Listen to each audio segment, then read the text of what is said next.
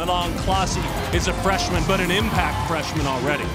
Well, she is a beautiful gymnast with great execution, and that delivers big scores. But the coaches said that it's her difficulty that has really pushed the whole team.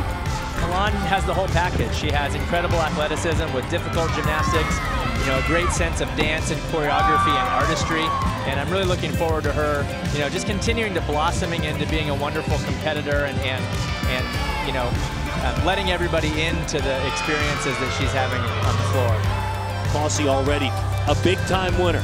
Ask Stanford, ask those that competed in the Collegiate Classic.